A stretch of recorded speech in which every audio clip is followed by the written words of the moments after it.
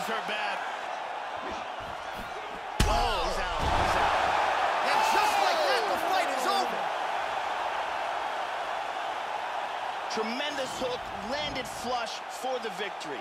Well, Joe, you knew if he landed that weapon repeatedly, could be a short night for his opponent, but that was just one perfectly placed strike that his opponent candidly didn't even see coming.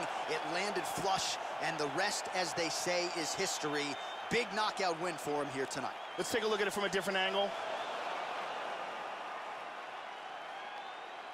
We send it in there now to Bruce Buffer.